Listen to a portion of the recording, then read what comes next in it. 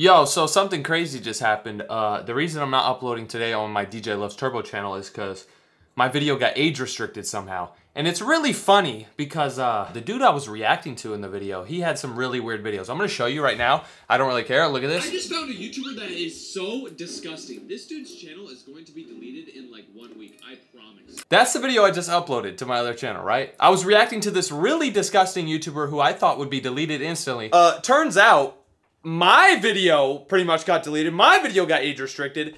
And yet his videos are still up on his channel.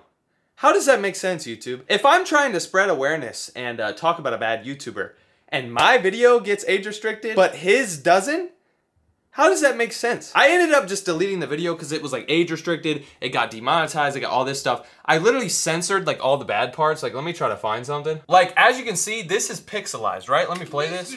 This video I'm about to show you, they're doing it at the movie. Like, okay, so this is very pixelized, as you can see. I literally pixelized it. This dude was like pulling his, it, it was really weird. I was literally just exposing this guy, talking about how bad of a YouTuber he was, I didn't show anything bad. I was just spreading awareness, and yet my video got. It's all right though. I'm, I'm gonna upload a video tomorrow, and then I'll be good. I'll be good the next days. But that's why I didn't upload today, because this stupid freaking YouTuber got me deleted. We'll be back tomorrow.